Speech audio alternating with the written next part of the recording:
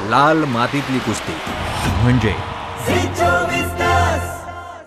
शिवसेना आमदार वैभव नाईक यांच्या घराची सार्वजनिक बांधकाम विभागाकडून मोजमाप सुरू झाली आहेत. लाचलुचपत प्रतिबंधक विभागाच्या चौकशी अंतर्गत दिलेली जी संपत्ती आहे त्याच्या विवरणाबाबत हे मोजमाप सुरू आहे. कणकवलीमधील आमदार वैभव नाईक यांच्या बंगल्याची कळसोलीमधील क्रशरची पाईप कंपनी हळवल इथे आणि फार्मसी कॉलेज शिरवल या ठिकाणी इमारतींचं मोजमाप करण्यात आलं. ही कारवाई कशा सुरू आहे? हे माझ्यापेक्षा ज्या जनतेला जास्त माहिती आहे.